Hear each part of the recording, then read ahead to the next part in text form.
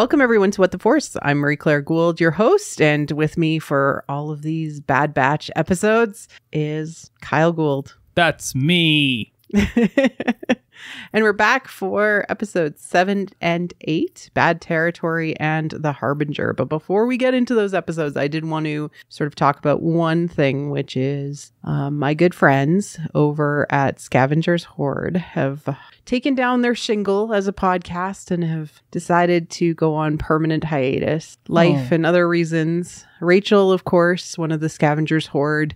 Um, I did a panel at Celebration with a Celebration Europe. You got to meet her and hang out what with her. What a lovely human being. Yeah, and I've also met Kirsty in real life as well, which Aw. is which is wild. So I know both of them and uh, really well, and I am sad to hear that they have um, they've decided to go on hiatus. I know life can get in the way of doing this thing that's really just a hobby for many many people. Well, you know, it just means that they've moved on to other things. yeah, And yeah, when one chapter ends, a new chapter begins. And that doesn't mean that the previous chapter has any negative connotations associated with it. It might not have been as long a chapter as we might have wanted it to be, but it was still just as good a part of the book. And I love speaking personally with both Kirsty and Rachel. They're um, two of my favorite people. They were big sequel trilogy, sequel era fans. Were really into understanding the themes and analyzing the text for more. And they will be missed in the community at large. Um, well, their their contribution to the community at large was was deeply felt. Um, gosh, okay, so like all the things I've said so far are all stuff I've put in retirement cards at work. so if you work in an office, all of that stuff is literal gold. You want to see a You- person weep for leaving? Those are the things to say. Just those things. No, but I will. I will miss them and having their insights uh, out there. It it feels more lonely having l- lost two powerful women in podcasting. Right, but they're the cool thing about these podcasts is they don't go away. No, They'll they're- still be you can there. still go and, and listen to them, which is also really great too. Yeah. And I hope to have either one of them on the podcast on What the Force.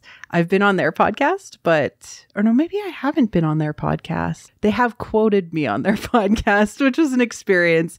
But uh, you know, Rachel and I, of course, collaborated for Celebration. So I think I will be reaching out to them and see if they're interested in ever, ever guesting on What the Force. It sounds like a really lovely thing to do. Um, and yes, everywhere else is it.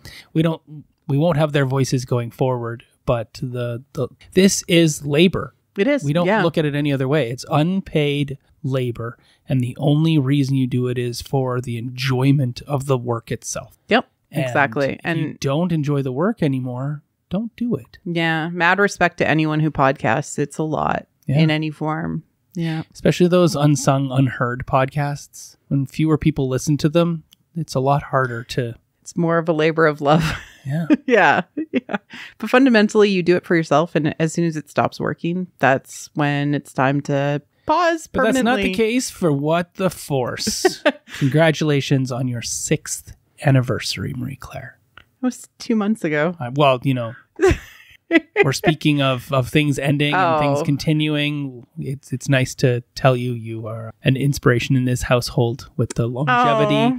and the commitment that you've had to this podcast and your other endeavors and pursuits. Yeah, I was speaking with uh, Christy Carew actually yesterday about the podcast, and she, uh, she, we were also talking about life, and I was, you know, mentioning that Robin's going into their last year of high school, and Christy said, "Isn't Robin 11?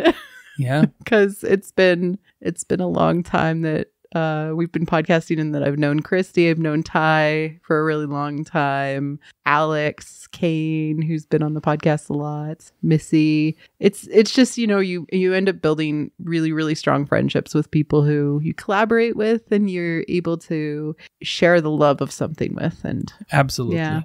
So few people truly know what it means to pod, you know, discuss the meta aspects and the the, the underlying motifs of Star Wars.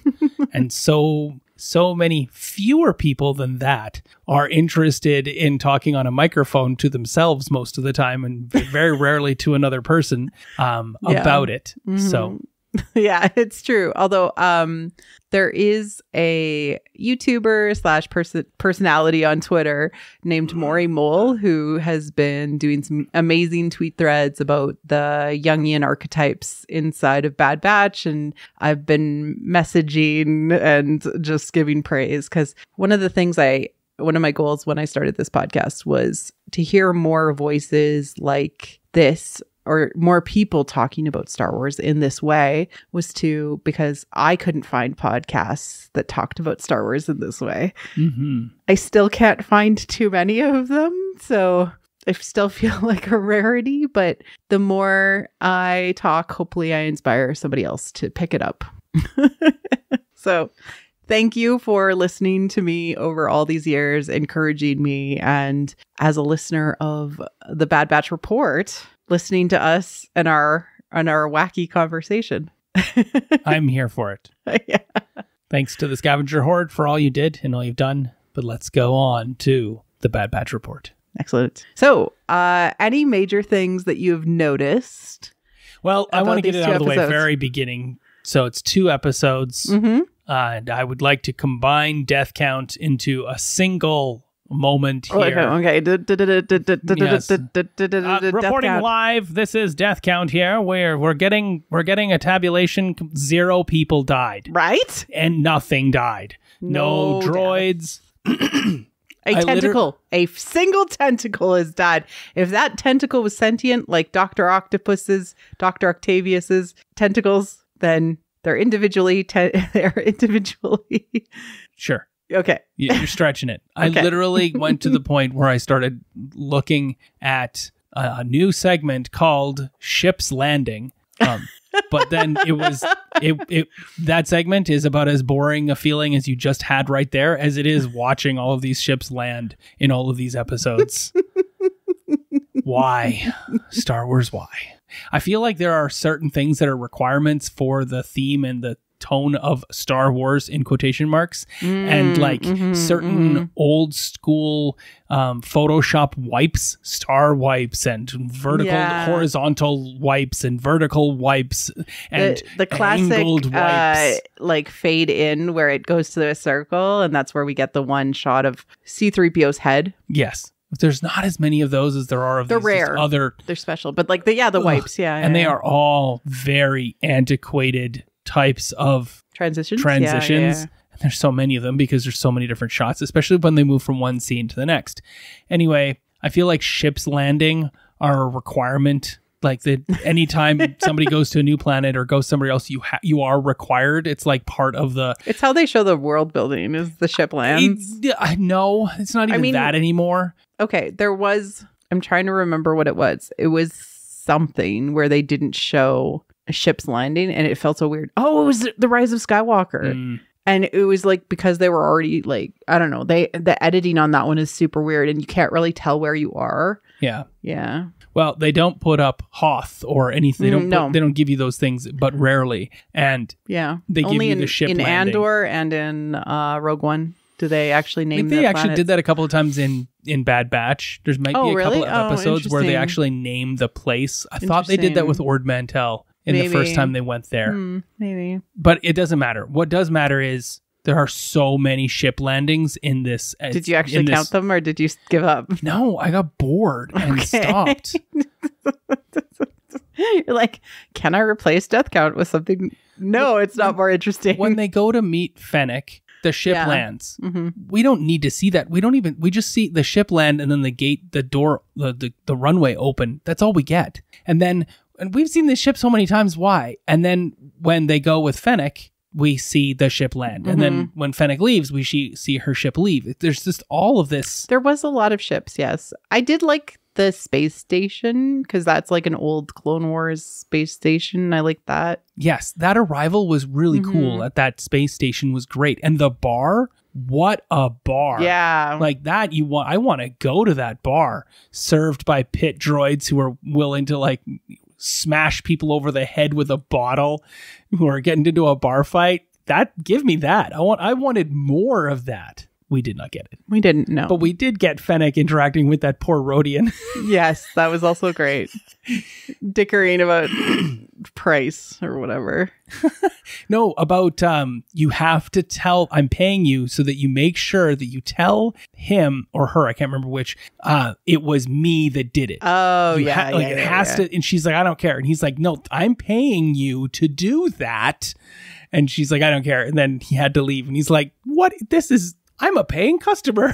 yeah, and they're like, yeah. Uh, it feels like it feels like Hunter and Wrecker are totally out of their depths when dealing with Fennec. I think everyone is out of their depths when dealing with Fennec. Yeah, Even the Mandalorian himself, Din Djarin, was out of his depth dealing with Fennec. I, I Yep. think that there is a reason she is who she is, and that there the reason Ming Na Wen was hired to be that voice is because of the type of person and character she portrays, mm-hmm. which is don't mess with me. yeah. There's a certain amount of gravitas that she brings, even just with her voice and the character, Yep. which is really great. And no nonsense. Mm-hmm. Just no nonsense whatsoever. I do want to point out, and this will be more important kind of when I get to the second episode, but Fennec is also representative of another psychopomp, Mm. which is a fox. Spirit foxes are a thing across Asia, Asia,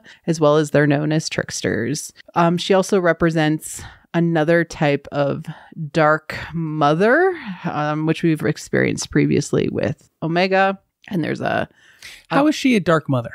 It, it had to do with Omega and the interactions from last season. Oh, okay. In that. In this episode, she is not any of those things. No. No, but in relation to Omega, she is one. Cool. So let's stay on the the Fennec Shand because there's two stories. There's the A plot and the B plot with Yeah. Crosshair and Omega Yeah. back on the base, which is there's not much. It's just No. a way to segue back and forth. Um, very point A to point B episode that this was. Absolutely just absolutely just a, you know, fetch quest, yeah, literally, absolutely, like a hundred percent. I guess. Which was and it was sad too because we did get some more development of Fennec and we kind of got to see how things are going, but so much time was spent on developing and putting this in place that I didn't feel like Hunter and Wrecker really got any character development again Mm, yeah, on their own. Like they're just still single single icon individuals, exactly their name. I wreck stuff and I'm a hunter. I hunt stuff and I wreck stuff. Yeah. Um, but a couple of things I want to do. First, would you like to play a game? yes. Okay. so it is the very first time that any of th- that this has been mentioned ever is class A bounty hunters. Did you know that there are rankings now? There's According to rankings? Star Wars, Is this new? Bounty. Yes, this term, class A bounty hunters, comes from this episode when Fennec says the Empire has tasked or hired or sent out to class A bounty hunters to track down these M count individuals. Oh my god. Look at the world building, Jennifer and Brad. Just a subtle comment. Yeah. But now everybody needs to now everybody wants to know who are class A bounty hunters. I mean, obviously, all the ones that are on Vader's ship in Empire Strikes Back that are going after the Millennium Falcon. Is that what leads to that? I don't Maybe. know. So No I- disintegrations, Kyle. I did some research. Okay. and I and people who can people can play along as well. You can figure out who is not on this list that you think should be on this list. But if you were to put together a list of say 10 or 12 class A bounty hunters Mm-hmm. who are essentially the best of the best, although I don't know like cuz there's A, there's C, B, A and then oftentimes a lot of systems have S tier, right? S tier, like super duper tier. So let's just Yeah. say there's no S tier. This is just top of the top, the cream of the cream. And you know, I'm such a fan of bounty hunters. I know, right? Not at all.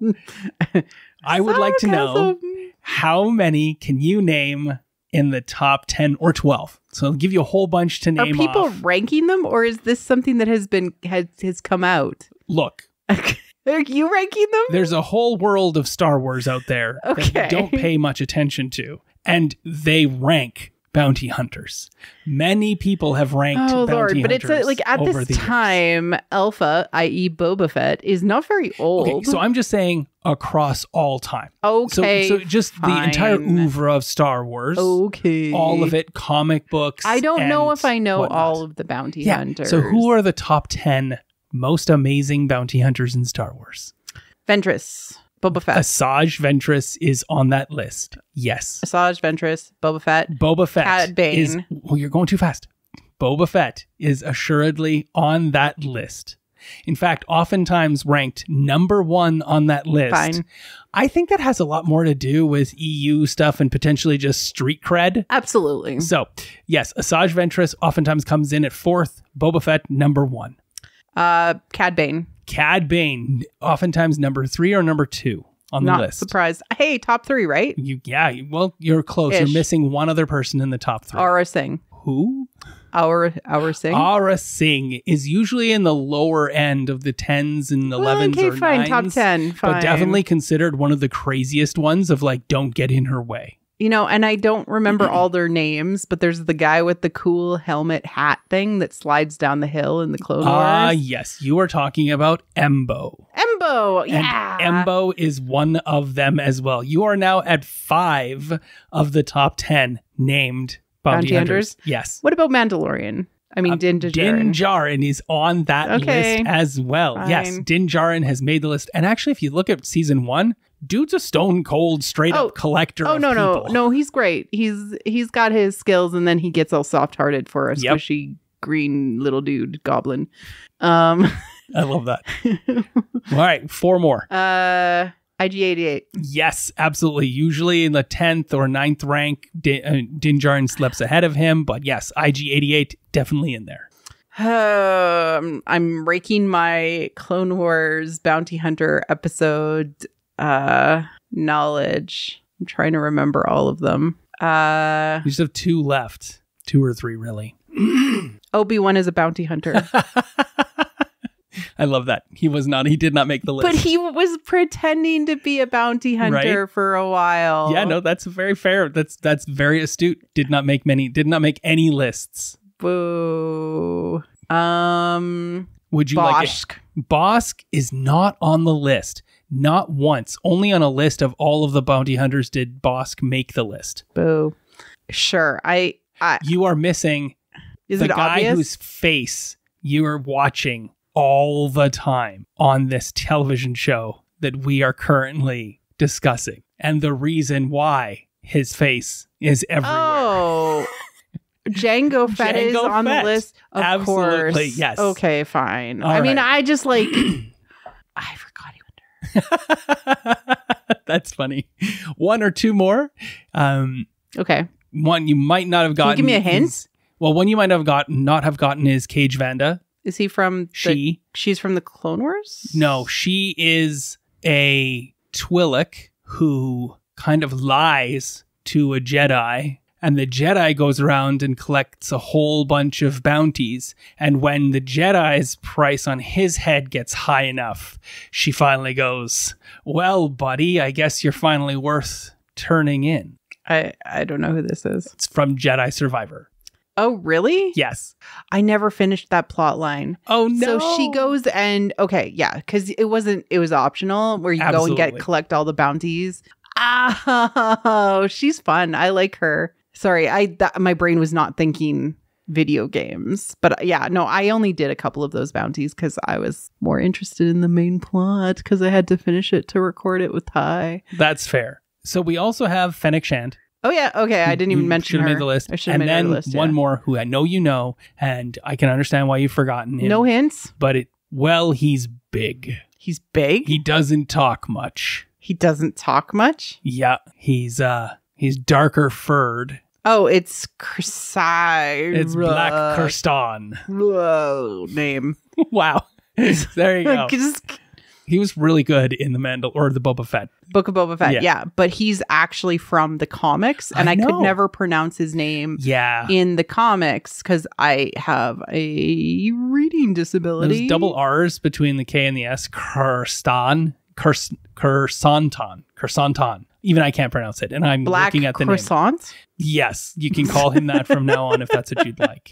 Anyway, if you feel that there are people who are bounty hunters that are ch- of all across the Star Wars universe that you did not that did not make this list, My Discord is going to have opinions. I would love to read those opinions. I did okay. You can at me. You named all. You you actually got through a ten. Remember there was twelve, so you did great. Good job. I, I- am I'm very impressed. I mean, it wasn't Star Wars Trivial Pursuit. It's not ordering twenty seasons of Survivor according to logo, but you know what? You can have an extra vote at Tribal. I mean, I could easily order all the movies according to logo by timeline order. I don't That would doubt be you could easy. have. Yeah. That would be easy. There's not that many of them. What you have to do is name all num uh, order all the characters who've actually celebrated life days and the number of life days they've celebrated in order. That would be Like just good. showing up at the festival because Yeah. then are are we including the Star Wars holiday special in that or is it not included because it's not canon? I don't know. That's Okay. that's up to you. And and Because other, Luke and Han did make it to the to the festival. well, there you go. so that was my little game. uh, Yeah, that when was she cute. I loved it. Class A bounty hunters. mm-hmm.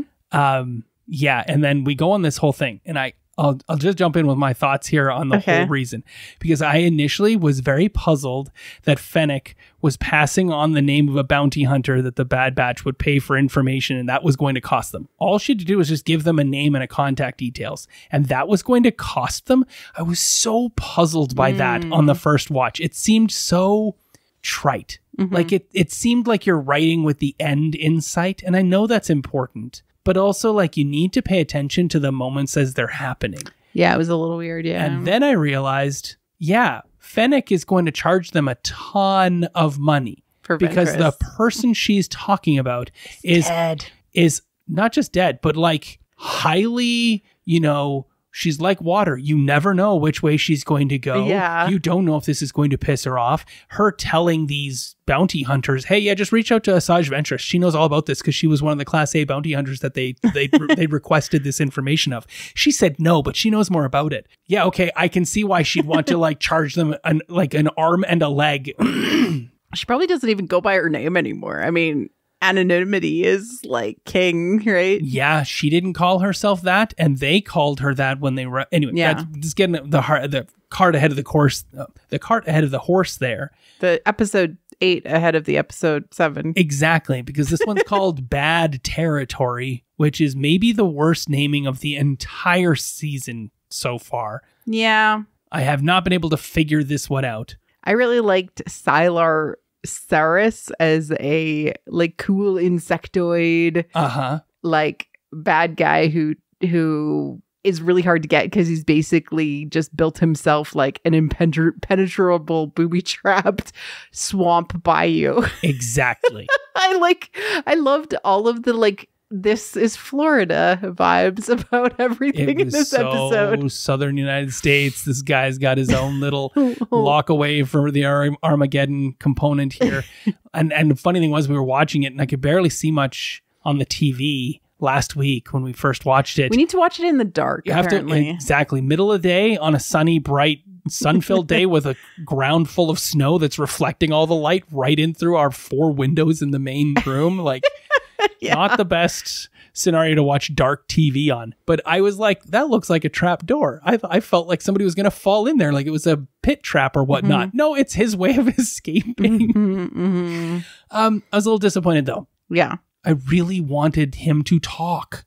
Yeah. he says nothing until he says Fennec's name. Like, Not enough. not like why he's he's like, why are you here? Hey, you could leave me alone. I could, I'll blow you guys up. Why have a conversation? He should have been all gloaty. he was kind of an anno- annoying little dude. Yes, but he's he's a terrible person. Like, Oh, he no, I know. literally took out an entire syndicate family. Yeah. That's why he's wanted. Yep. Fennec stands to make millions off of him from the bad guys, the syndicate. Mm-hmm. Oh, I couldn't remember their names for the moment. There's um played by that wonderful, amazing performer, Angela and nope, Angela Anjelica Huston, Anjelica Huston. Yeah. played by Anjelica Huston. And I'm like, this is that's the lady who's hired Fennec Shand to take out this guy. Really? It has to be Oh, because no, no, no. It's a different group. no, no, no. It the whole. Why wouldn't it be the whole group? Why wouldn't it be her? It was part of the syndicate. She's part of the syndicate. He took Really? out. He took out a space station and an entire family. Oh, is that how they're looping it back? Okay. Uh, That's how it seems to me to be the case. I don't remember. But I don't think we're ever going to get to see it anyway. So it doesn't really Hmm. matter. It just seems like it's another nugget of this is a bigger picture than you know, but we don't really know why these things are occurring in the Mhm. background. The relevancy here is that you bad batchers had, are not going to get paid at all. You're going to risk your lives. You're going to do all this. And then I am going to maybe give you a name. So this classifies as a as a mini night sea journey because they go in. They're on a boat. Uh, they're on like a little, almost like airboat, like that you would take through the skiff. A skiff. A skiff, yeah. It uh, and I- they go did you see what it propelled it? no. it's uh so this is a whole tie through the reason why there's pit droids in the bar Mm-hmm. and then they go to that other planet the engine that drive that pilots the ship is a pod racing engine Oh, that's cool. and that's how it propels it along on top of the water Oh, that's so cute. yep how cool is that Um, but yeah, it's a mini night sea journey, and night sea journeys, of course, you know, from the earliest night sea journeys that we have in mythology are when Ra would go to sleep and journey into the underworld every night to be reborn to be the sun in the daytime. Mhm. That was the like sort of that's one of the earliest motifs that we have documented of the night sea journey and it's about transformation and rejuvenation and all of those things. But usually you don't find what you're looking for necessarily. If you're a human going on these night sea journeys you end up learning um more about what you have to lose. Oh yeah especially like you're, if you're a human on the journey and and Horus is manning the manning the the till Yeah. and Ra's asleep underneath the boat and we're like well we just got to get him all the way there and you got to fend off all the crocodiles in the water and then Sobek's going to be coming and we don't know who else is going to be there. So be careful because we might end up fighting Anubis and whatnot too. Yeah. And and uh and it, all of that is just so that you can get to the other end of the river so that Ra will wake up and be like oh we're here already? Time to go across the sky. Yeah. All right. See you tomorrow night. See you And tomorrow Horus night yeah. is like we made it. All right human you can go about your life Yeah, for and those so- of you that lived. but like night sea journeys specifically are about facing the things that you fear to lose. Mhm. and the only thing i can i literally like was scratching my brain about like why the batch is like on this journey and like why it's important. And i'm like i guess it's just the possibility that they went through all this effort and learned nothing. Yeah. Like That- that's, the that's fear that they happens to face. every human who does this journey to you know with Horus to get Ra to you the got next day. nothing out of this. No. You did all of this work and you got nothing. And they have to face that like concept that like literally things will end in dust potentially for them which Mhm. also makes me kind of worried for the end of the season that like it might not be okay hmm i don't know I don't know i don't know i mean i think it'll be fine for omega because the the story is mainly about her i don't know i'm i'm really struggling with what things Yeah. mean right now Well, I will tell you this. Hmm? Twice in this episode, Hunter sees things before they happen. right So the Like the mines. mines, there's no like he The sees one a broken ship and he calls a halt and sees the mine right before they crash into it, and he feels those crocodiles coming before they get there. hmm That's relevant and important. Also, Hunter used to be fully aware of everything that was going on. And he was willing to take multiple different suggestions from a whole bunch of different people. Always was polling the rest of the group to see what their options were, what their decisions. What did Crosshair think? What did Tech think? What did Wrecker? Oh, think that was funny, Wrecker. You sit over You there and think and about blow blowing things stuff up. up. But some, but he would oftentimes take all of their suggestions and then settle on a course of Seems action. very, very focused on one thing now. but he will only do one thing to the exclusion of nothing else. hmm He there's not even a discussion Yeah. that Omega can't go with them. He literally says no. Yeah. Sit there. Go uh figure out what's wrong with Crosshair's hand. Oh, that'll give you something to do. And then he scoots scooches off. It was so strange that someone he's grown to trust the opinion of, who he's so afraid for, he doesn't take a moment to say, You're the thing everyone's looking for Yeah. if we bring if I bring you with me, as much as I know you'll help me, I don't think you're not. It's not going to be at because whatever we're going to get, we don't know if it'll be of any value. Yeah, it It's doesn't too much of a risk. Yeah, because the value is in what you mean to us and all of that. Yeah. Why No, couldn't he have just said that? I think he's going through something.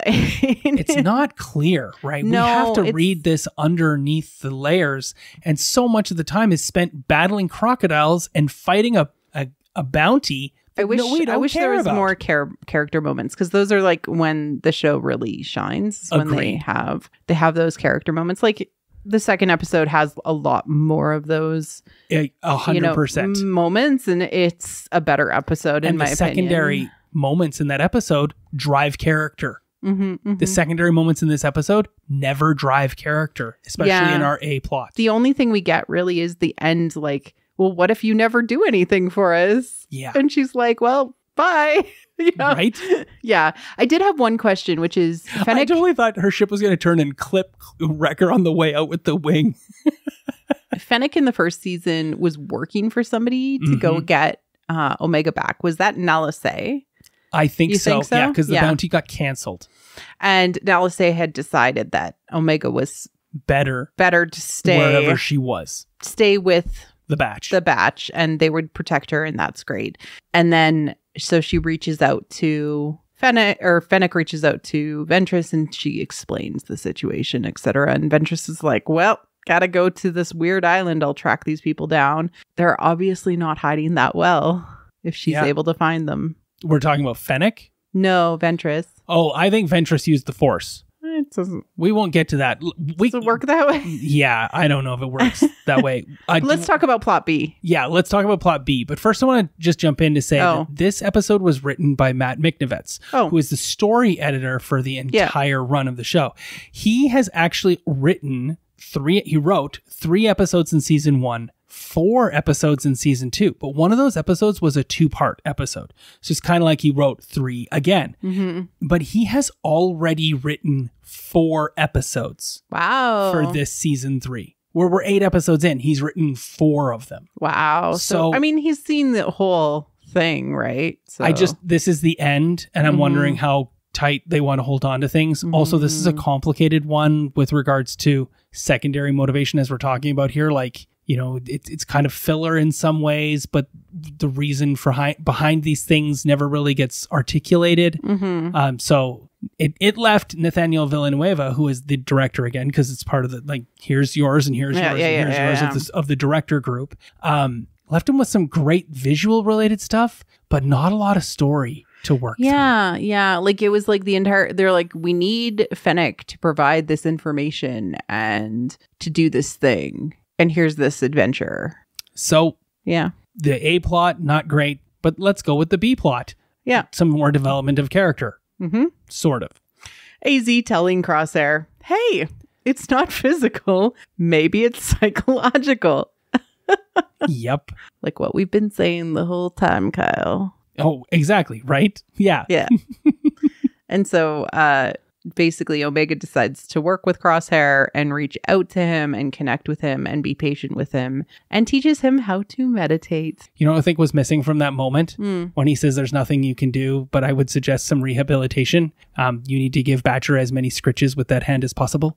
yeah, that would have been great. AZ Yeah. would have totally said that, or Yeah. Omega. It would have been great. Crosshair would have been grumpy about it, and then he would have been like, "Mrr, Batcher. scritchy, scritch, Scritchy, scritch." scritch. Yeah. Yes. More scritches for Batcher. The only one who's scritched him is is Omega and uh, Wrecker, and I think that that is that is too low of scritches. Right? Why doesn't Hunter have any re- interactions with Batcher? It seems like there should be. He's Hunter after all, Yeah, like man's best friend, right? Exactly. Yeah. and he's the man. And I like that they bring back that Gungi taught Omega how to meditate. I thought this part of the episode was going to play into the second part of the episode or the second episode when I watched it. I thought that her meditating was going to play into that episode and it didn't. Yeah, and I also thought that Crosshair makes this great point that as a a, a sniper, um, and it seems to be the way he sees life as well. He says close doesn't count; it's either a hit or a miss.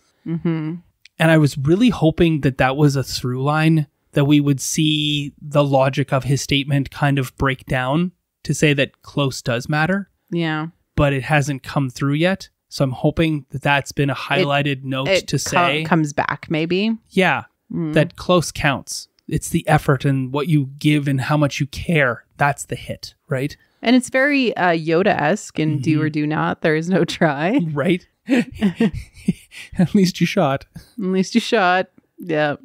Uh, It is nice to see Crosshair so quickly fall into meditation with Mhm. Omega. it was a Um, beautiful scene. I wanted the screenshot of that moment of them staring off into the sunset Right? as a It's a cro- it's a playover to another scene. Have you seen the two images overlaid with each other? There's another scene of the three um ba- of the Bad Batch sitting together looking out into the distance of of something else. I'll, I'll try to find it for you afterwards. okay. Oh, that's great. Yeah, it's it they're doing a lot of connective imagery. Staring off into the horizon is uh is about thinking about the future and what the possibilities are. It always is in TV shows and whatnot. Hey, have Mhm. you ever found that in real life? Yeah, I think that I think that I get introspective when I look at beautiful surroundings. Like when we went to the Rockies and we went to Lake Muir near or the Lake Moraine near um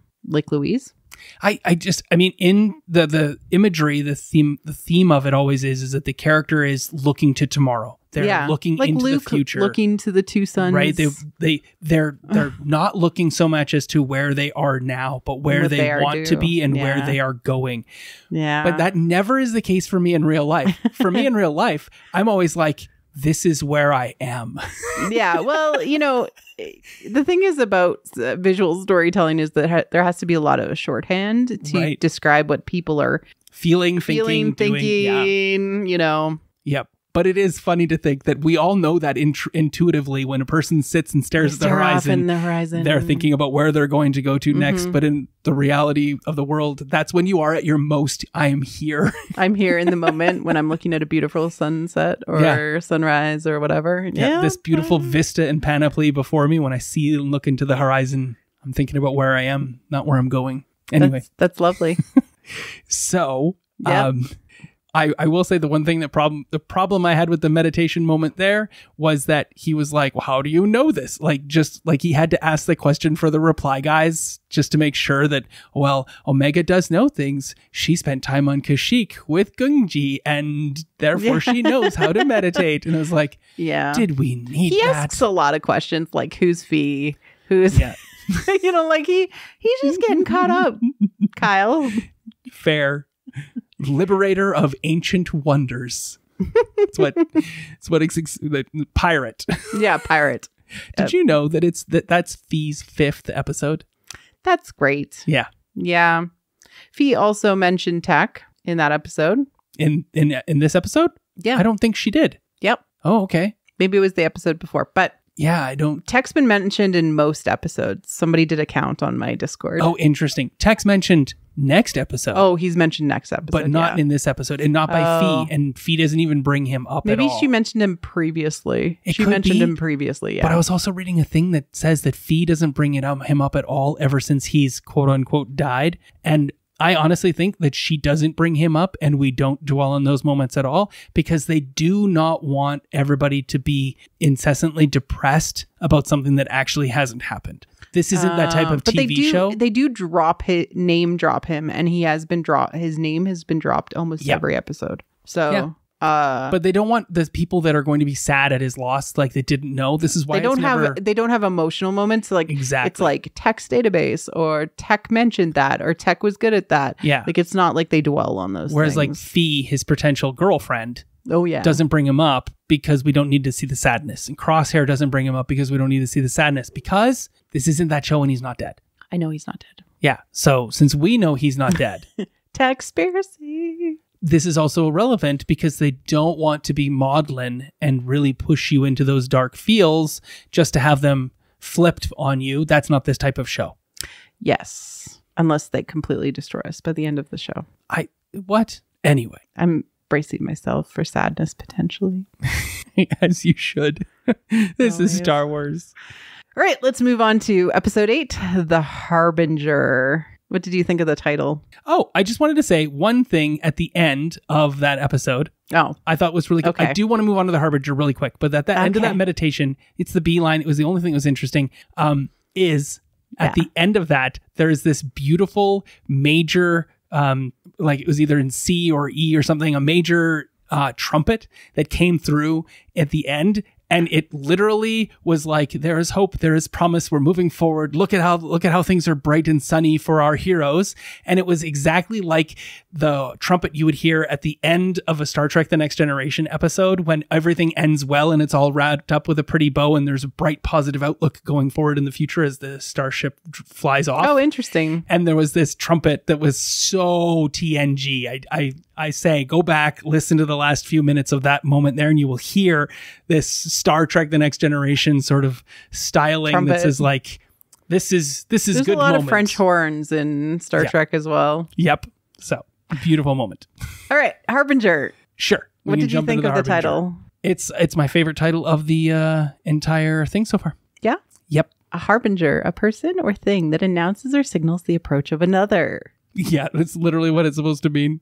Yeah, A, a forerunner, a forerunner. as in, it were. in Campbellian terms, hmm this is the herald of a change or uh, a journey and can often be the catalyst for the change or the announcement of the coming change. In Star Wars, we have the best herald in A New Hope. Do you want to know who he is? Sure. R2D2. I mean, C3PO's there. He just doesn't really know what's going on. Oh, my stars and garters. Stars and garters. But um, you know, this is a herald for who? Obviously, it's going to be Omega. Um, Kim. it can't just be for Omega. it is for Omega. It has to be for everything. That's what a It is for- harbinger is. It is for every but everything, but the herald itself is for Omega from a heroine's journey perspective, from a maiden archetype perspective, in that you have been all about integrating all of these different aspects of yourself so far, all of your brother fathers into yourself, all the these different pieces. But now it's time for you to process all of that and move into individualization, which is, of course, symbolic of puberty and growing up into adulthood. yeah. That's what that is. Interesting thought, though. Yeah. Point. Interesting point is that a harbinger, if it is a thing, oftentimes a har- like a harbinger is the robin, which comes to preclude the the beginning of spring. So Right. you see a robin. A robin is the harbinger of spring. Yes, And so it's there's before. all of these these things that bring forth the call that the call to notice that change is upon us. Mhm. However, when it's just a thing, it's just there's no positive or negative connotation in regards to it. like the letter for um, Harry Potter. Exactly. well, okay, but when a harbinger is a person, Mm-hmm. the connotation of the word is almost universally bad. Yes. So if a person is a harbinger, Yes. bad things are coming. Yes. And then, so we get the title, The Harbinger, Yeah. and it immediately shows us Pabu. Yes. And I'm wondering if you noticed the difference. In Pabu? Yeah. No. Because Pabu But I've been is, thinking a lot about again how Pabu looks exactly like Tantiss. I've been like I tweeted that out Oh, yeah. last or I brought it up last season, but yeah. so every time until this one, when we see Pabu, beautiful sunny day, Is dark? calm seas, Right. gorgeous out, lovely, gorgeous, beautiful, sunny, sunlit vistas.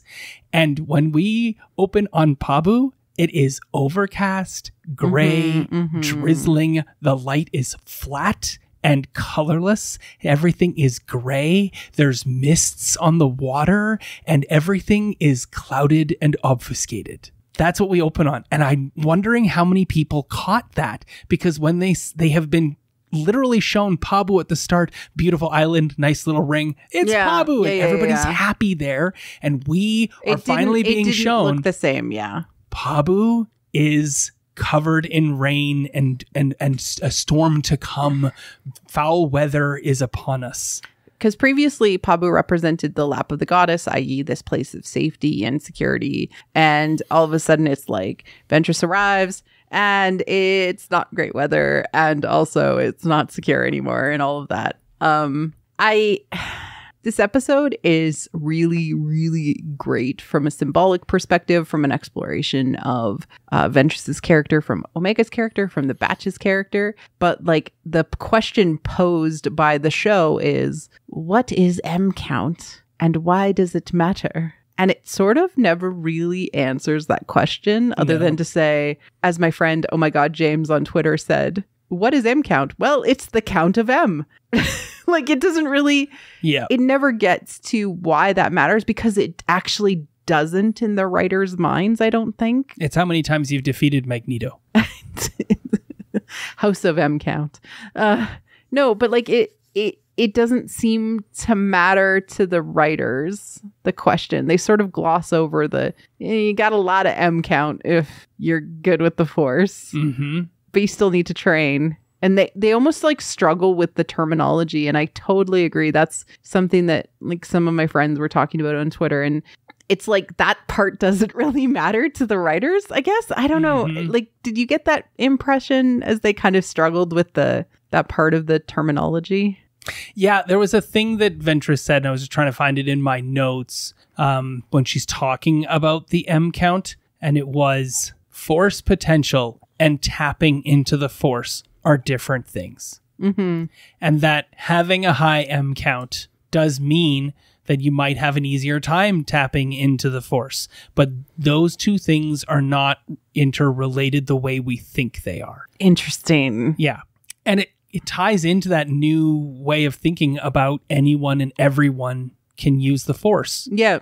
Um, and that's how we we justify and get to Sabine finally finding a way to you to to tap into and connect to the force mm-hmm. despite having not a high M count. And so so Asajj is just reiterating this new knowledge to us to say you do not have to have a high M count in order to tap into the force. The force is around us and through us and lives in all of us. Mm-hmm. It is if and and people think having a high M count people believe having a high M, M count gives you a greater potential of doing that. It's interesting to note that Asajj says think that it's not like They just- know. this isn't science. This is a misguided notion as to what the It's a- force it's is. It's a correlation at best. yes, Mm-hmm.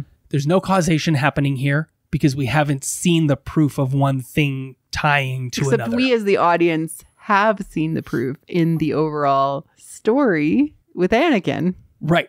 Well, we we're but a single instance does not prove Okay. right causation. So what we're saying there is sure, okay, he had, but he also was raised in the force. He was raised he was to do trained- these things and trained, trained and whatnot. And He was already so old though, Kyle. you're right He was the Eight? same he's the same ish age as Omega. at the start of the Yeah. the, yeah the whole thing yeah around there. Um, this episode is great and weird. And you want to talk about harbingers? The first voice of the thing is that lady on the boat. Mm-hmm. saying hi, and Wrecker's like, "You got a girlfriend?" Or, I'm Wrecker. I don't have any character.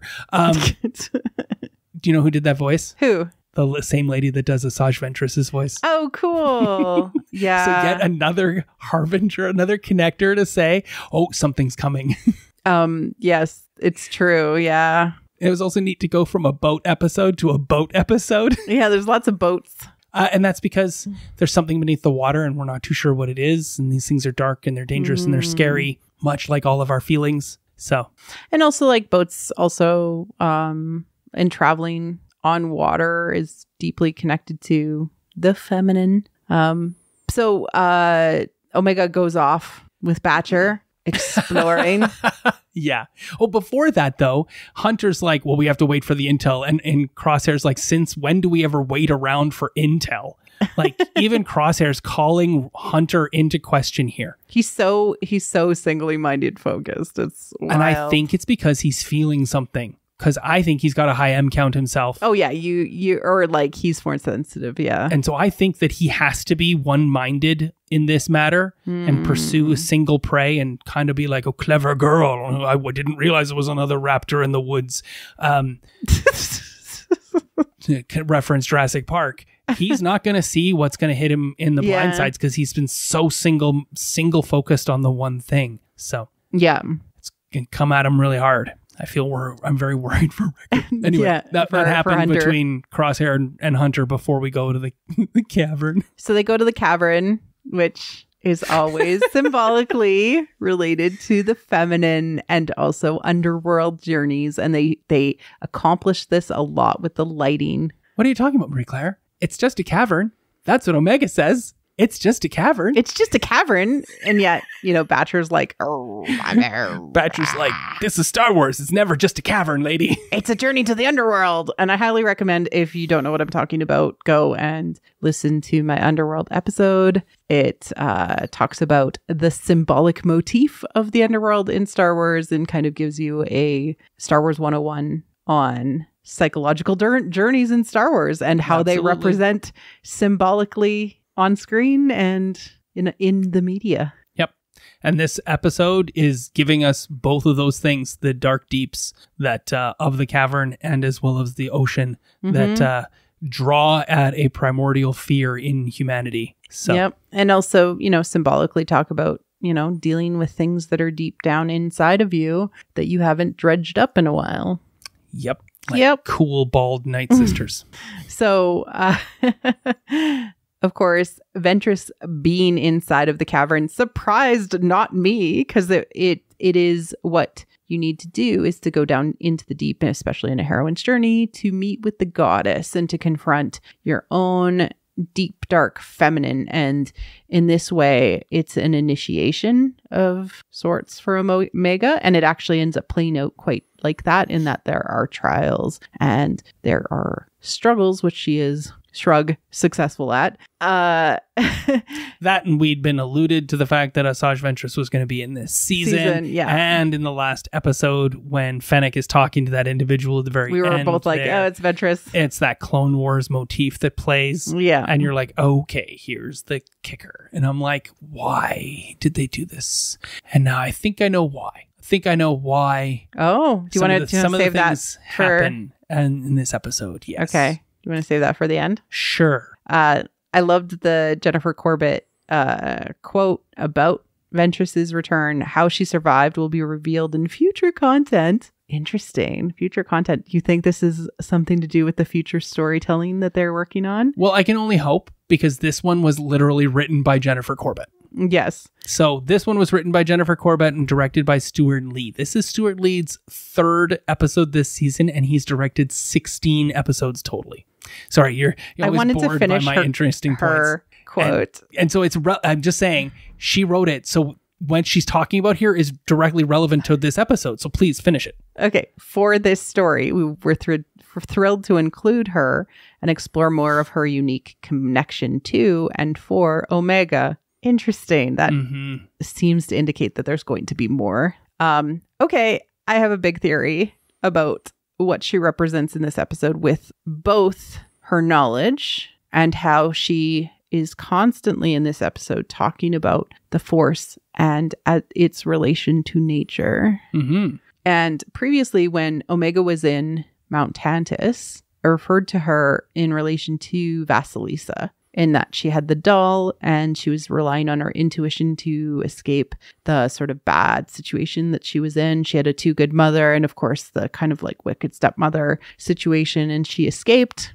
Um, because of her intuition, which is what is represented by the doll. In this episode, I believe that Ventress is representing Baba Yaga, which is where Vasilisa goes to to get fire, which is power, uh, and also a version of initiation. When she goes to Baba Yaga, who is this is Vasilisa is a version of Cinderella that is from Russian folklore. Uh, Baba Yaga lives in a house with chicken feet, uh, rides around in a mortal and mortar and pestle that flies throughout the sky, and controls uh, the forces of nature effectively she is like the great mother goddess mixed mixed with a witch mixed with a dark mother um and she contains all the wisdom of the natural world including binaries like life and death and good and evil and etc but she and archetypically, she is a crone, much like um, archetypically, I believe Ventress is representing. But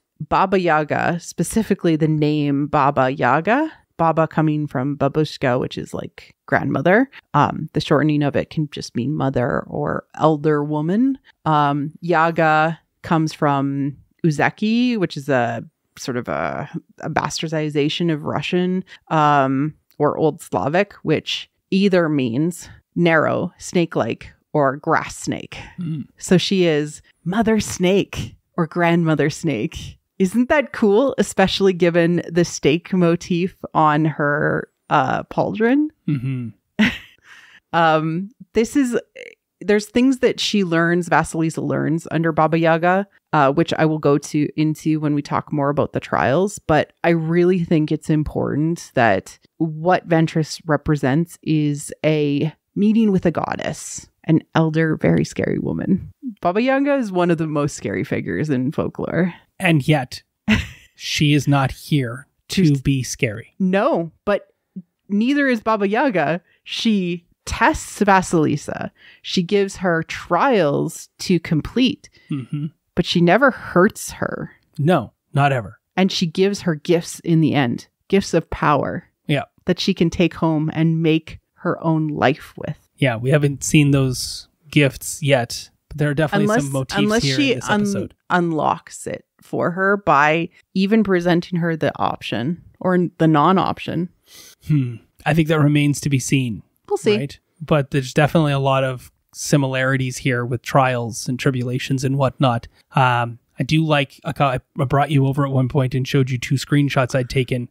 Yes. Um, they introduce the Bad Batch. Finally, uh, you know, they rush up. They see that Omega is is encountered or is now seeing, meeting Asajj Ventress, and Asajj Ventress comes out of the dark. Right, she's coming out of the Mhm. cavern and she's standing in shadow in the darkness. And there is this uh, diagonal slash um, of change between shadow and light and the batch stands in the light on the right side of the screen and Asajj is on the left then later on in the show, five minutes later, it's all it takes is five minutes in a 26 minute episode for a complete change to have occurred. the reversal. As yeah. the sun is setting and Omega's running off on her second trial of the Mhm. Baba Yaga, um, Asajj Ventress is now standing in the light. And the, badge. angle of the light between light and shadow is almost exactly the same, and the batch themselves are standing in the darkness Mm. and it just clearly shows to you the viewer hey okay this person is dark and scary. We don't know what their motivations are. Suddenly now we know what their motivations are. We know who they are and what they represent. And so therefore therefore they're standing in the light and it is the others the ones we thought we understood who are now standing in the darkness because we don't know what their new intentions are. And i was puzzled by this throughout the entirety of this yeah. garbage of a fight that went on. I think it's just because there wasn't enough good talking that occurred. Right. And I, fa- I finally figured it out, Marie Claire. hmm Again, with the end in sight, they want to have Asajj pull her lightsaber, but there's no one else for her to be around, for her to need They to have even to- pull they have to her show- lightsaber. that it got to be yellow, which is part of Dark Disciple, in that she has been redeemed. Exactly. She has she there's there's a lot going on with Ventress from Dark Disciple. But yeah, she was redeemed. She came back from the darkness. And Yep. like the thing the thing about Star Wars is that especially with force users, death is all metaphorical. It's a metaphor for going into the underworld and transforming. And she's experienced that like multiple times hmm in her own journeys throughout all of the different medias. And she herself being represented by a snake, much like Crosshair is represented by a vulture. It was an ice vulture. I Mm. found that out. I knew that last season, but I like forgot that information. But she's a snake, so she's a psychopomp, which can go in and out of the underworld. And it seems like they're showing us these characters that go on these dark journeys, like Crosshair and like Ventress, representative with animalistic Hmm. psychopomps. So like Crosshair is associated with the vulture. She's got the snake. We have Fennec as a fox. Like it feels like these are like guides to other characters who go on dark journeys and show that it's possible to come back from the underworld where if you're a villain, you're on a villain arc, you get stuck in. You Yeah. get stuck in this like darkness. And that's the symbolism of being on this dark path Mhm. is it's not the end. You can always come back from it. And also, it's a very easy thing to do when you have animals that represent a certain thing already in society. If Yeah. you tie that animal to a character, It's like shorthand, it's symbolic shorthand. Exactly. Yeah, yeah. It's just the easiest thing in the world to do. Uh, the problem is, folks, is those don't necessarily translate from one culture to another. Yeah. So if you use a fox, wily, quick-witted, and smart in in, in North American uh, culture and television, and then you put the Mhm. Fox in a Korean or Japanese uh, drama, that is going to mean an entirely different thing to them than it will to us. Yeah, there's more of a, a yeah trickster element in some some cultures, but there's also Or like, ravens, ravens, in yeah, Nordic mythology versus ravens in North American mythology, a little Or- bit different. So or indigenous populations. Exactly. Yeah, indigenous cultures. There is, um, I do think that Ventress coming back. It, it was interesting to see her come in as the harbinger because I thought she would be more of a guide, and maybe she still will be because sometimes harbingers stick around, yeah, it's right? possible. It looks like she's leaving, but she might come back. So Mike, she arrives, and a lot of what occurs in of the meat of this episode happens at sunset, Yeah, which is the last bit of light before the darkness to come. And Asajj, therefore, in this episode, represents that last bit of light before the darkness to come. oh, geez. And what she has told to Omega, let alone what what she Mhm. tells Hunter and Wrecker and Crosshair about Omega is is telling of where things are about to go. I did a much longer post on my Patreon about Asajj Ventress and um, the relation to what happened in Dark Disciple and her being an animal bride and a fairy bride and what it relates to with Quinlan Vos, who still might be around at this point in the story. I'm not going to go into it because we didn't get any of that this episode, but if you're interested in my thoughts, that's on my Patreon. That Um, sounds great. And I know a lot of people are excited and want to talk about Asajj Ventress because I don't know very many people that I so that I chat with on the regular that watch Bad Batch. And the people are anyway, my friend Sarah Joy, who I was on a podcast with uh, on YouTube for Star Wars and talking about game Mhm. mastering, she loves What the Force and li- watch listens to this show because she loves the Bad Batch as well, and so she watched the Bad Batch today and then was immediately talking to me on Discord about about it and she's like you're the only person I know that I can talk to about this because nobody else I know watches this I know show. it doesn't feel like there's a lot of watching, but yet it's so there's like a lot of really interesting things happening from a Star Wars perspective. Yes, they're Yeah. they're they're covering a lot of ground with certain things, but they're doing things in such a strict linear plot fashion that sometimes I'm Mhm. like, could you have done more with less? Um, Yeah. but what's funny was I said to her, I said, um, I'm here for the forthcoming follow up season, which is just an Asajj only series of runs, and her her comment to that and anybody else I've said that to said it was an immediate like I'm here 150% for it. That would be amazing. And they would have a lot to tell from a lost husband perspective with Quinlan Vos. And another comment point point for me to that, just from a meta pers- like not a meta perspective from your perspective, but a meta perspective of like the whole the Yeah, show yeah, yeah, and what's happening behind the scenes. Yeah. I was so impressed with the voice actor Nika Fu- Nika Futterman's work on this because I loved Asajj Ventress in the Clone Wars. hmm She was so good and so bitter and so angry and resentful and petulant Yeah. to take the character voice and devoid like remove those emotional constraints and put her at peace. It yeah, it And a sounded like little bit- butter, but still her voice. a little Yeah. bit like a little touch of condescension like you don't know where i've been and like oh i Mhm. you you think i'm the bad guy you haven't seen the empire like the way in which she put that character's new perspective and the new overlay of emotions was so skilled that if she can do both of those things yeah. there is such a degree of depth for we for us to follow on an Asajj Ventress story. Do you think that's the animated show we're gonna get next? if we don't, I I would love a limited series at least. A limited series about Asajj Ventress. Oh my god, it would be so good. I love her new outfit. I love her hair. I loved how her hair looked like an adult version of Omega's hair. I loved how they mirrored each other. So she really looked like her dark mother in this episode. I loved it so much. There's so much I love about this episode. Yeah, absolutely. Um, the only things I didn't love was Hunter and the Batch. Just basically straight up being like, "You're Being a bad guy." no, we're just numbskulls. Except that as soon as they were like, "No, you can't be," like they were, she's training, and they're literally in the audience bleachers cheering her on. Like, you got this next time, says Wrecker, and then they're not allowed to be there anymore. And where are they? They're literally Like, back on the looking- island, looking through their binoculars and their scope on their rifle to see what Go she's away, doing. Dad.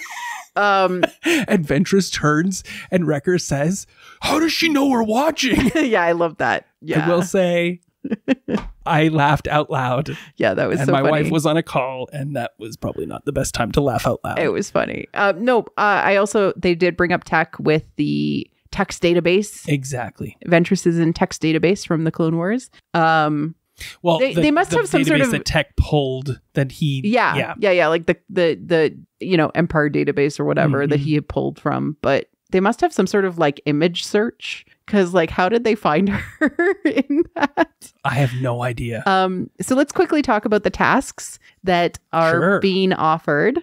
So in Vasilisa the Wise, Baba Yaga gives uh, Vasilisa the task of cleaning her house and making her a big meal. Mhm. Enough to feed basically 10 people is kind of the task. And in the in the story, Vasilisa doesn't do it. I think I I I need to say that in that she doesn't do it. Her doll, her intuition tells her to eat heartily and go to sleep, have a nap, and everything will be solved. And literally, the doll does everything. yeah. Yeah, much like the birds for Cinderella. yeah.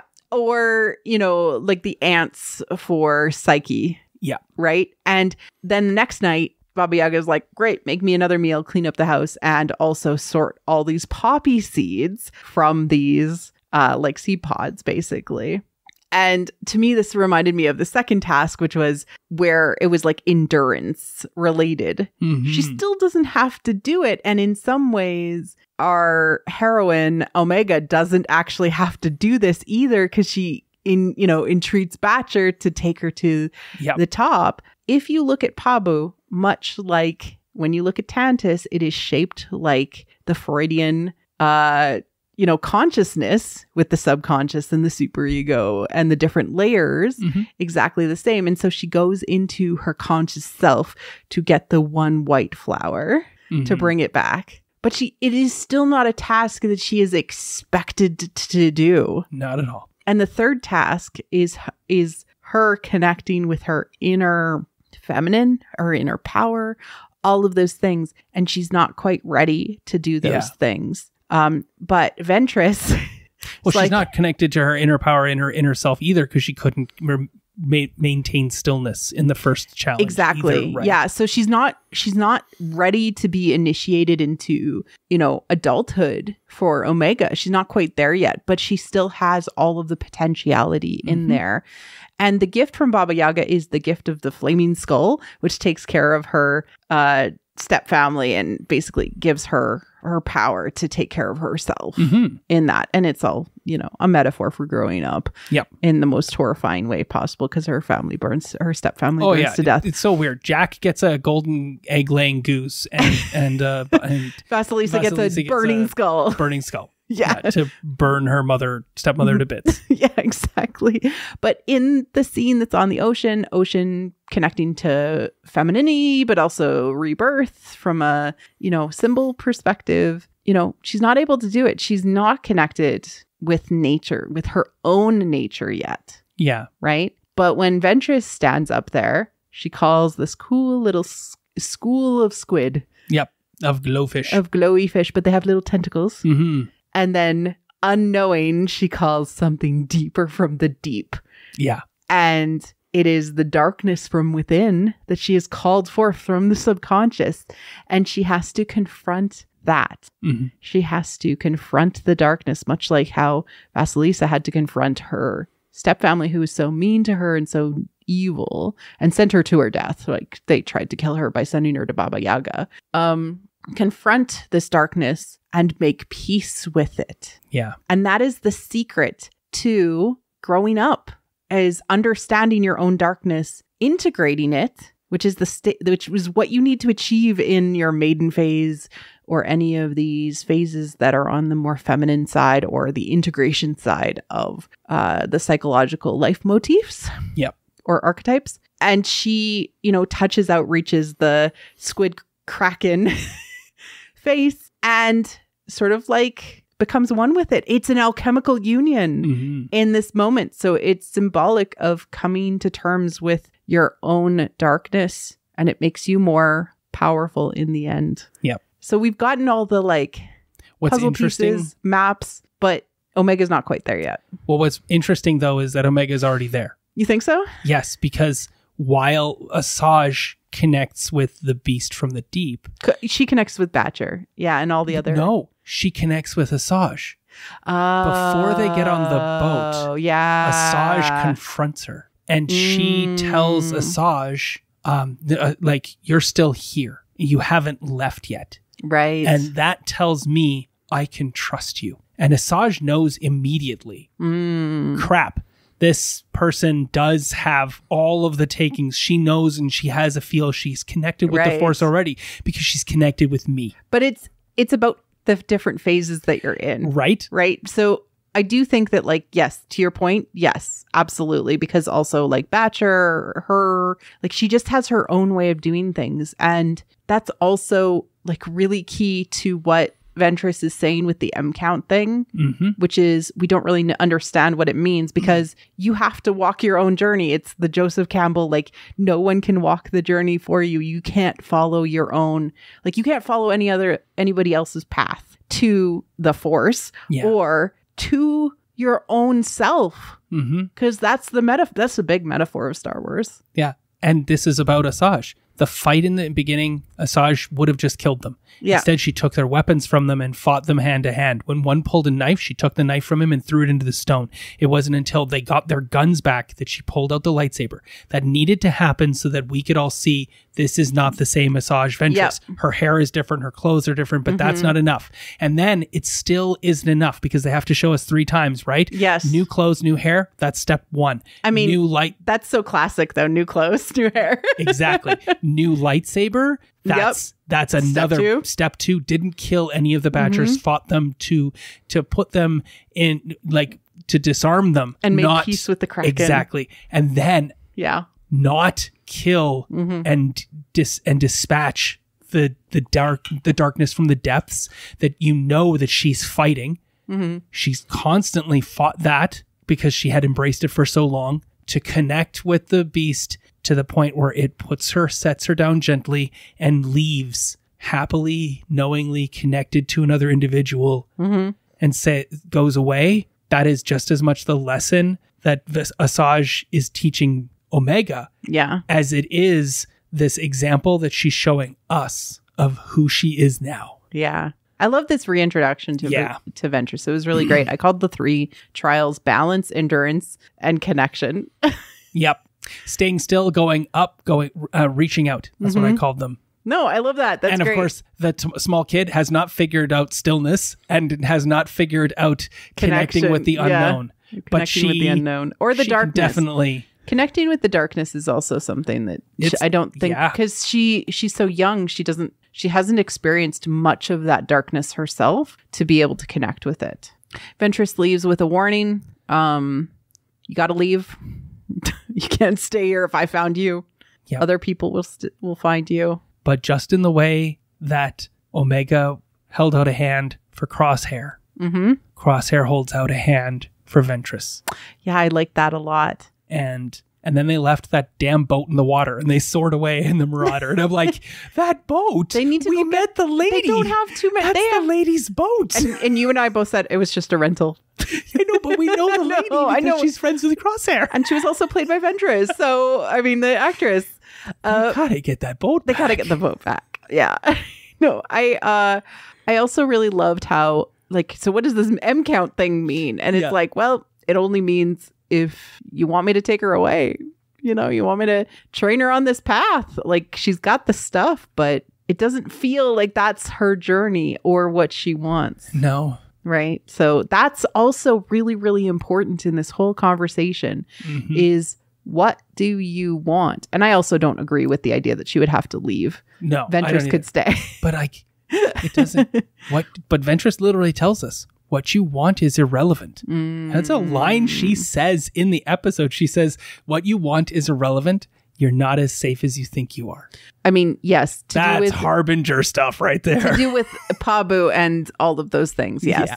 And also, you don't have a choice but to grow up. Yeah. You don't have a choice but to deal with the world. You're not safe in your little village. Those are part of those life archetypes. Yep. It's the maiden phase going into hero is about leaving the village to go and save the galaxy or save the kingdom. Yeah. It's it's literally that is the step is you're no longer protected by your village and your mentors Yep. and your protectors. And yeah, like she's archetypically exactly what you would see, which is she's being hunted by a predator, which is of course Hemlock, hmm and she's being protected by a group of protectors. But she's more skilled.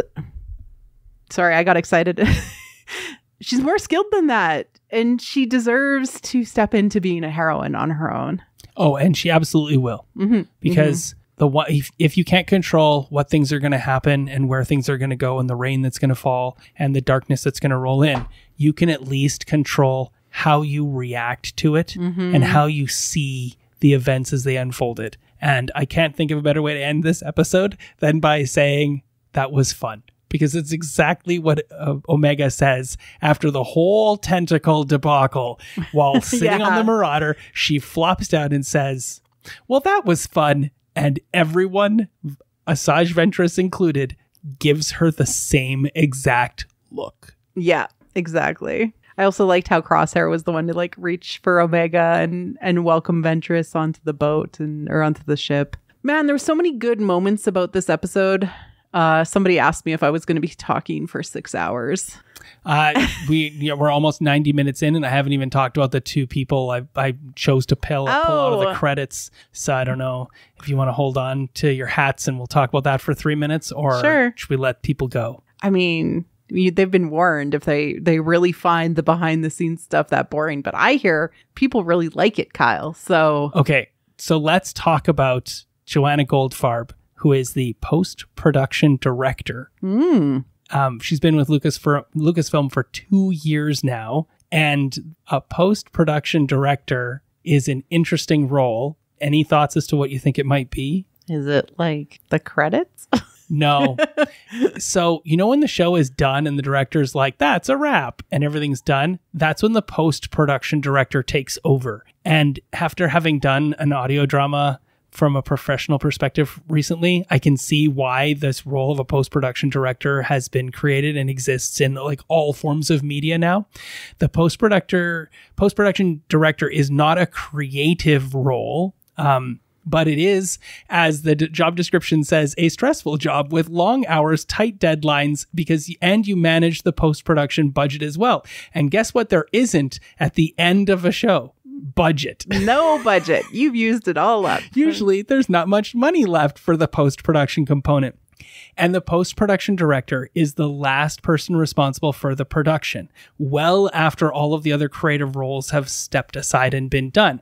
And they liaise and work with the uh, accounting side of things to make sure that there's money left over. And they go and they make sure that they schedule and they get all of the other remaining assets that might have been overlooked. So if there's a, a background scene that they need to have or assets that were mm-hmm. not acquired that need to be done for the finished project product, they're basically there to clean up all the loose ends It's for like to stitch show. all the all the stitches closed and Yeah. make sure the actual thing looks real pretty. get the credits on, get the Yeah. get the after credits, get the post show initiation component done. A lot of the mm-hmm. times they're then responsible for liaising with the marketing group and putting together all of those runners, the trailers and other components that are done and and not necessarily doing those things But just coordinating it. getting yeah. having budget set aside for those things f of the budget that's left ha- making sure that somebody is designated to pull the clips that they want to put into those components and use the music that they need and do we need to get any retakes or are still retakes outstanding from any of the voice actors or do we need to tighten up anything else and is there anything once the production has wrapped that still needs to be tidied up from a production standpoint Mm. and they're hired at the very beginning and then they're involved in the entire process. That's and so that's cool. the post production director. Are they also responsible for the uh like if say like uh, a show is translated and they have to get the right, you know, I would think like- that the hiring of those components, but then doing and the dubbing and whatnot is is offset, but they're probably still responsible for it because that's all post production. yeah, interesting.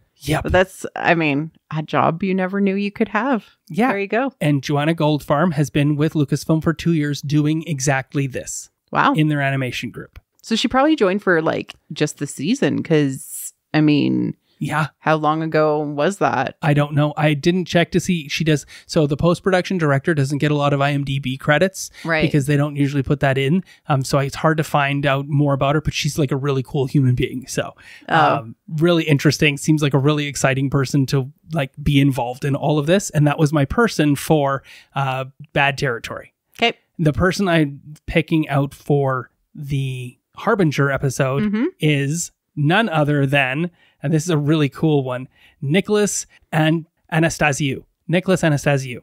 Okay.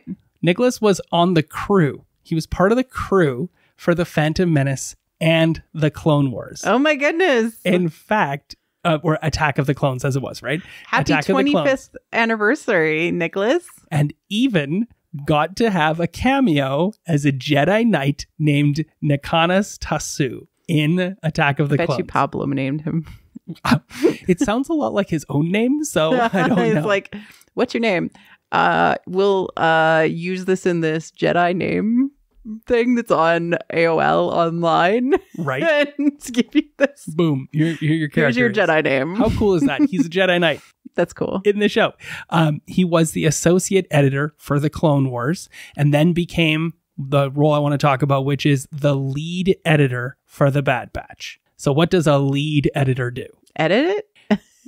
Yeah, from a holistic perspective, actually, they work out what needs to be animated and how scenes are then pieced together.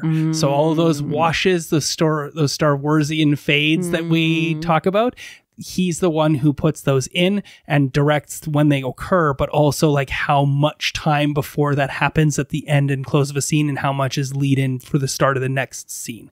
So that's what the lead editor does. He uh, and then once the animation work has been done, he will arrange the final footage, preparing the rough cut, and then makes re- revisions for the final cut, which then gets sent over to the director and the producer for approval. So he puts everything together based on the storyboards that have been laid out, puts it all in. But of course, a storyboard is just a picture. He has to segue all of the time and mm-hmm. ensure that It aligns up. Yeah. not only gets the to the time. Yeah. exactly gets to time. Not Yeah. only does it not go too long, but also not go too short. Yeah. And that's principally what his job is. It's it's just so interesting because like animation editing is probably a little bit different than film editing. From a construction perspective because they have to be so much more thoughtful with what they're editing to save money or what they're animating to save money Yeah. and not over animating so they're not wasting basically money. And that's why they work. And I talked about the asset, individ- the people who control the assets mm-hmm. too, where they build all of these set pieces and they mm-hmm. add like every time Gonky's in a thing, that's an asset that they have, and they have all the different angles for Gonky,